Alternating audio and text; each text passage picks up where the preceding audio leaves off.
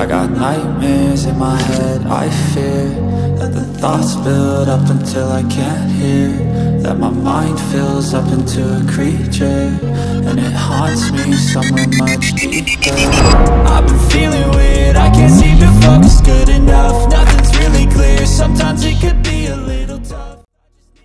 Good day everyone, this is Gurakshit. Welcome back to Guru Talks and today we are embarking on a journey to Mumbai and today is the day where I'm traveling alone.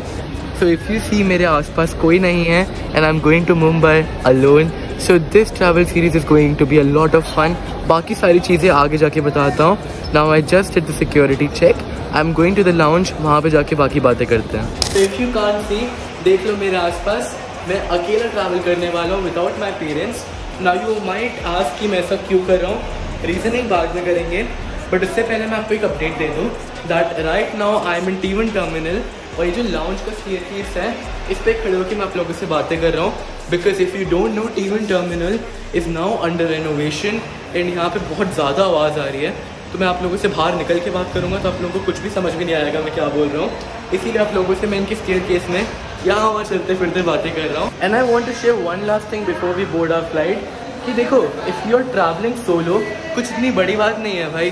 मतलब जो आप करते हो अपने parents के साथ same process ही है सेम प्रोसेस ही गो थ्रू करना है। कुछ बस उठपटांग हरकतें नहीं करनी।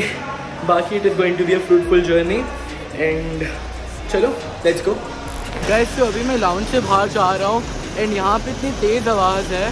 सरदर्द हो गया सच्ची में। बस बोर्डिंग गेट पे चलते हैं। फिर वहाँ पे मिलते हैं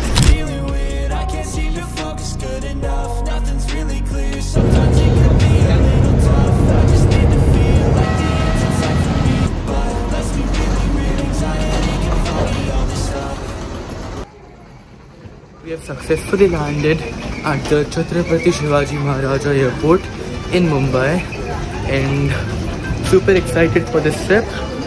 As you can see, ये पूरा वो terminal वाला zone है and my brother had already book the cab for me तो जल्दी से मुझे जाना पड़ेगा। So I talk to you then अभी हमारा प्लान है I am taking a cab and we are going to a restaurant in Bandra no Bandra is a place in Mumbai अभी मुझे भी इसके बारे में इतना कुछ पता नहीं है। सो वंस आई गो दिल I let you guys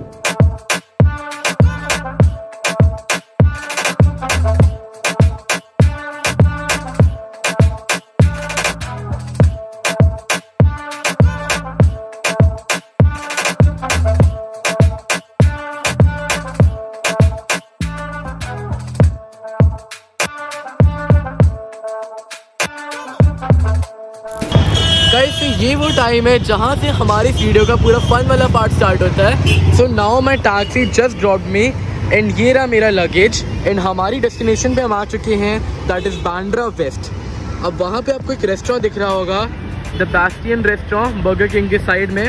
That is a very famous celebrity restaurant तो अभी हम अपने दिन को स्टार्ट ही यहाँ पे करने वाले हैं। So it is going to be very fun अगर आपने अभी तक चैनल को सब्सक्राइब नहीं किया तो क्या कर रहे हो? बाकी let's get up and have some fun in Mumbai. This is my first time, super excited. Let's see what Mumbai has got. And अभी जब मैं टैक्सी में बैठा था the taxi driver told me कि यहाँ पे आपने भी जाम देखा क्या मैं उनको बोल रहा था कि भाई तीन चार किलोमीटर ही है हम आधे घंटे से इसी जाम में खड़े हैं उन्होंने बोला ये जाम नहीं होता जाम वो होता है जब एक घंटा लगता है आपको एक किलोमीटर के लिए बाकी it is going to be fun आगे चलते हैं let's go into the restaurant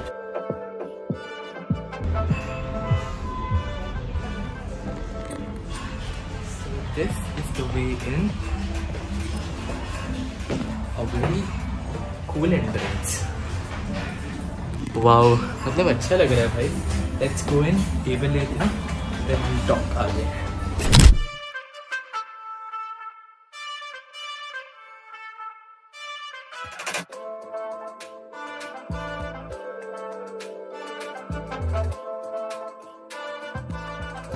So I am in the washroom I know it is awkward and weird, but still बाहर गाने चल रहे हैं and I am not able to speak मैंने दो तीन बार ट्राई भी कर लिया. So all I have to say is कि एकदम परफेक्ट है भाई ऐसी जब जैसे मैं अंदर घुसा ना तो वाइब दैट चेंज्ड एकदम से मतलब पुराना पुराना एंड मुंबई की अजीब अजीब सी जाम वाली गलियों से निकल के टू गुड मतलब मज़ा आ रहा है I show you the clips मैं शायद ढंग से बोल ना पाऊँ आवाज़ बहुत तेज है बाहर गाने की and the scent they have put on aesthetic भाई कमाल का है let's go out let's party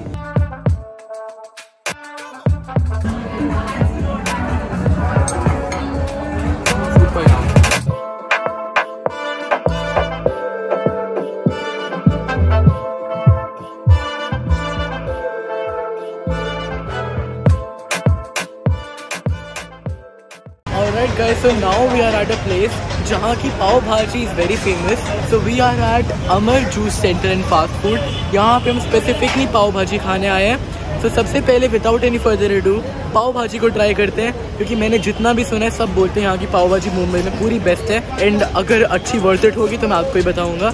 and कुछ ज़्यादा ही अच्छी लगे फिर हम यहाँ से और कुछ भी खाएँगे एंड मैं आपको उसका रिव्यू भी दूँगा. Let's eat it Let no evil hold me down. When your will is on the ground, what you gonna do?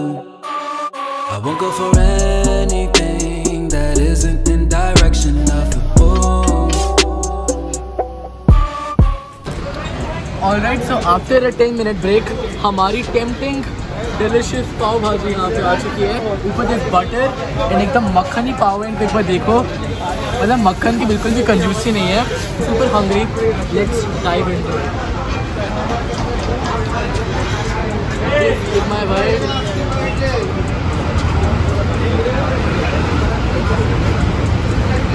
जो एक्सपेक्टेशन थी एकदम वैसे ही परफेक्ट पाव भाजी